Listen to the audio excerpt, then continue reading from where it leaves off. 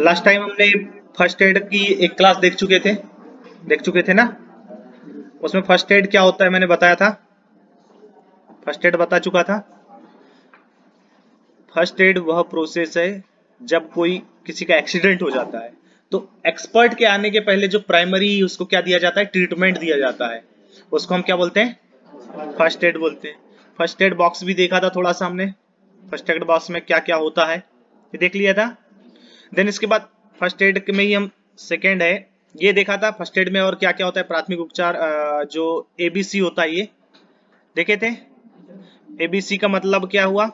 ए का मतलब ये याद रखना है कभी कभी पूछा जाता है ये क्वेश्चन ए का मतलब एयरवे बी का मतलब ब्रीदिंग या श्वसन। सी का मतलब सर्कुलेशन इसका मैंने बता चुका था क्या क्या होता है। ठीक है ना? और फ़र्स्ट एड के क्या क्या उद्देश्य हैं ये भी पिछली क्लास में हमने पढ़े थे। सबसे पहला लाइफ प्रिजर्विंग लाइफ को बचाना ही फ़र्स्ट एड का उद्देश्य है ना? लाइफ को सेव करना। देन उसके बाद कोई भी नुकसान ना हो। जैसे जाते जा, दुर्घटना हो गई अब जाते जाते कुछ ज़्यादा सीरियस ना हो जाए वो। इसलिए फ़र्स्ट एड दिया जाता है। और क्यों दिया जाता है? रिकवरी रिकवरी को तेज करने के लिए। ठीक है ना? ये देख लिए थे हमने।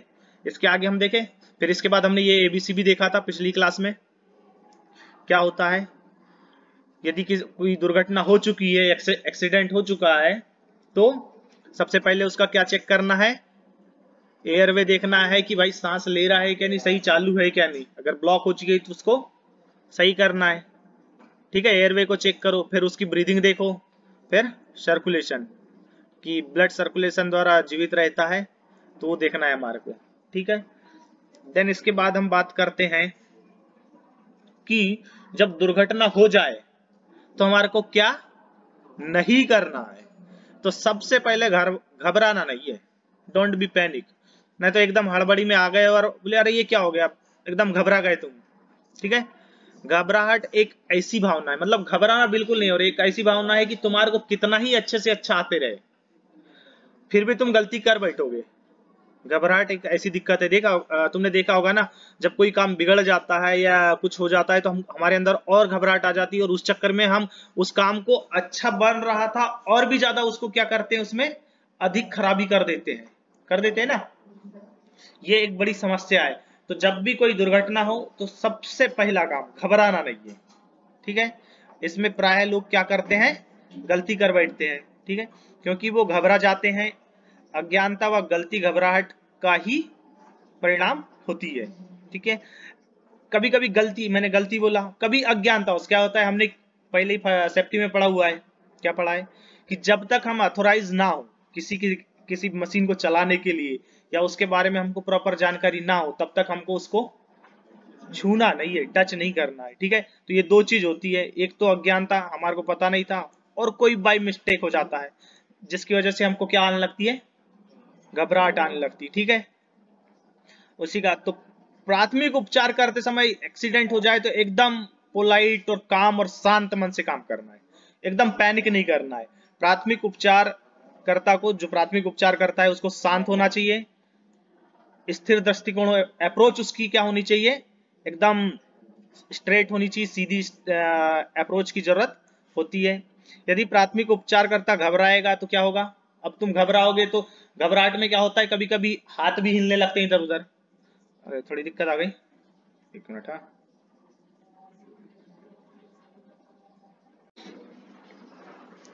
गलती कर बैठेगा।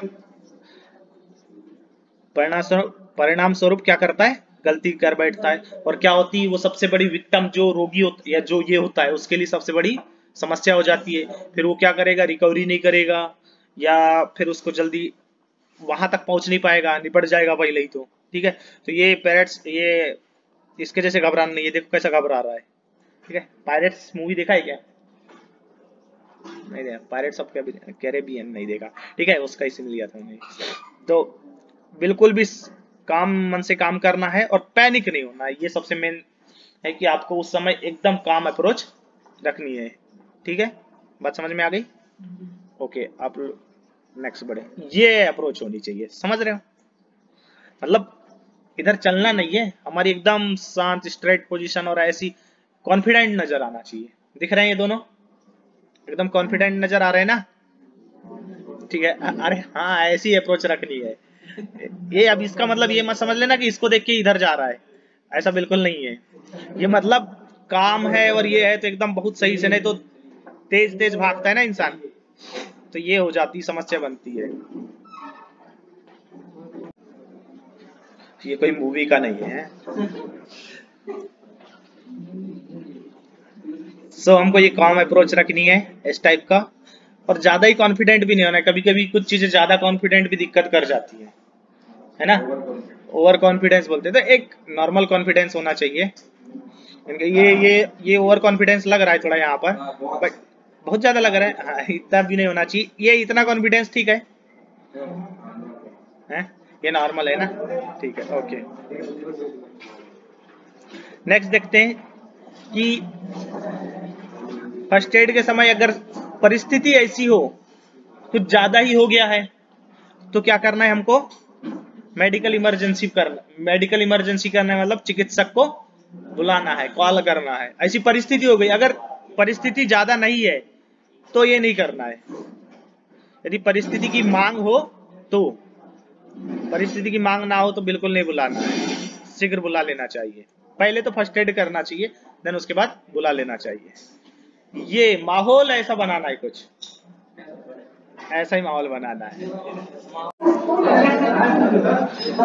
हमको सबसे पहले तो जीवन रक्षक माहौल, ये नज़र आ रहा है क्या? जीवन रक्षक माहौल? ठीक है, ऐसा माहौल बनाना है। ये यहाँ कुछ ज़्यादा जीवन रक्षक माहौल है, ऐसा नहीं है मतलब मेरा मतलब ये है कि माहौल वहाँ का अच्छा होना चाहिए। अलग अलग दृष्टिकोण के साथ। हाँ। देखो, अरे अलग अलग माहौल में अलग अलग दृष्टिकोण बनता है। देख रहे अभी कौन सा दृष्टिकोण बन रहा है? है? तो यही आवश्यकता है कि आपको वहाँ पर ऐसा माहौल बनाए रखना है कि जीवन रक्षक माहौल बना रहे मतलब वातावरण ठीक ठाक से रहे, हाइजेनिक रहे, समझ रहे प्राथमिक चिकित्सक को सही माहौल की जानकारी भी होनी चाहिए। जो एक्सपर्ट है, उसको माहौल की जानकारी होनी चाहिए कि भाई माहौल कैसे रहना चाहिए वहाँ का। कुछ और ना समझे, उन्हें सब पता होना चाहिए कि वातावरण में हम कर... और अच्छा वातावरण रहेगा तो कार्य भी अच्छे से करेगा। ठीक है ना? इससे कोई खतरा तो नहीं जिससे प्राथमिक चिकित्सक के लिए स्वयं खतरा ना बढ़ जाए। इस टाइप से नहीं होना चाहिए। ठीक है कि यही खतरे में आ जाए पहले तो किधर जा रही है क्या हो रहा है? मतलब ये ऐसा देखने लगे तो यही ऐसा हो जाए। तो फिर तो वो जो विक्टम है वो तो निपट ही जाना है। ठीक है? ये, ये मैडम आई तो ये इसको ये अलग ही इच्छा होने लगी। तो इस टाइप का माहौल नहीं बनना चाहिए। थोड़ा ठीक ठाक तरीके से माहौल बनाए रखें ताकि बेचारे विक्टम भी बचा हुआ रहे। समझ रहे ना? अब तुम ज़्यादा देर समझ पा रहे हो अब लग रहा है। चलो नेक्स्ट चलते हैं। डूनो हॉर्म मतलब नुकसान ना हो। जैसे कुछ ज़्यादा ही लग गया है तो ज़्यादा क्षति ना हो इसके लिए, और ज़्यादा उसको ये ना कर दें चीर फाड़ ना दे, तुम्हारा हाथ लग गया या कुछ हो जाए तो उसको ज़्यादा क्षति ना हो।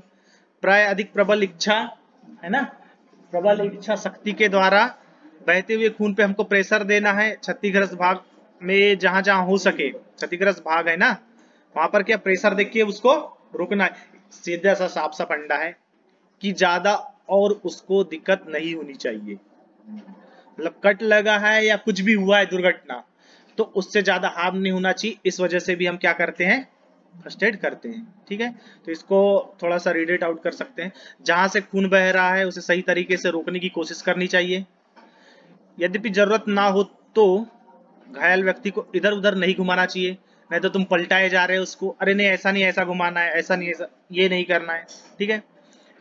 जब रीढ़ की रीढ़ की चोट या गर्दन की चोट या सिर पर, सिर का चोट हो तो घायल व्यक्ति को हिलाने से जीवन को खतरा पड़ सकता है। तो ये सब चीज़ें ध्यान में रखते हुए काम करना है। नहीं तो कुछ भी ना कर बैठे ठीक है? ये ध्यान रखना है do no harm work S O one right mind right minded होना चाहिए टीम वर्क नहीं तो किसी से खुन्नस ना निकाल ले हाँ? इस समय पे, अब तो मैं घुमाता हूँ तेरे को। एश्योरेंस देते रहे। ठीक है? उसको एश्योरेंस देते रहे, उसको बातचीत करके उसका बढ़ाओ आश्वासन बढ़ाए कि भाई कुछ नहीं हुआ है। You will be fine partner ये देखो, यहाँ भी ये बता रहा है कि तुम ठीक हो, कोई दिक्कत नहीं है। ये यहाँ देखो, अबे ये इसको देखो, उस साइड नहीं बोल रहा हूँ, इस साइड देखने बोल रहा हूँ। तुम इधर नज़र मार रहे हो, मेरे को पता है। ये यहाँ पर बोला you will be fine partner ठीक है? तो उसको एश्योरेंस देते रहे। यहाँ भी वो, वही काम कर रहा है, लेकिन थोड़ा ज़्यादा प्यार भरा एश्योरेंस दे रहा है। तो इतना नहीं देना है। ठीक है ना? ये ध्यान रखना है कि घायल व्यक्ति तो उसको नहीं तो बोला, तू तो गया। ऐसा नहीं बोलना है। एश्योर्ड करना है ताकि उसको थोड़ा मोटिवेट मोटिवेशन बना रहे उसके अंदर। इन चीज़ को ध्यान रखना है। स्टॉप ब्लीडिंग मतलब ज़्यादा यदि ब्लीडिंग हो रही है तो उसको क्या करना है? रोकना है ना? बह रहा है तो रोकना है। और रोकना कैसे है? ऐसा दबाव लगाकर। ठीक है? ये देखो, दबाव लगाए। कपड़े से या हाथ से दबाव लगाकर हमको क्या करना है उसकी ब्लीडिंग रोकना है। ठीक है? यहाँ देख पा रहे होगे। ये गोल्डन आवर्स की खतरनाक कौन सा समय होता है? जब एक्सीडेंट होता है गोल्डन आवर्स किसको बोलते हैं? जब एक्सीडेंट होता है और उसके बाद एक्सीडेंट के बाद एक्सीडेंट के पहले कैसे गोल्डन आवर हो जाएगा यार? बाद में होगा ना? एक्सीडेंट के बाद जो होता है जो टाइम और वो कितने देर का टाइम उसके प्रारंभ ये ध्यान रखना है एक्सीडेंट के प्रारंभ के 30 मिनट को ही हम क्या बोलते हैं? गोल्डन आवर्स इस ड्यूरेशन में जितने जल्दी से जल्दी हो सके, हमको फ़र्स्ट एड देना है और क्या करना है? हमको उसको नियरेस्ट हॉस्पिटल में पहुंचाना है, ठीक है? जितने कम समय में, जितना कम समय लगेगा, उतने जल्दी उसको चिकित्सा दी जाएगी, उतना अच्छा होगा, ठीक है? ये बात समझे।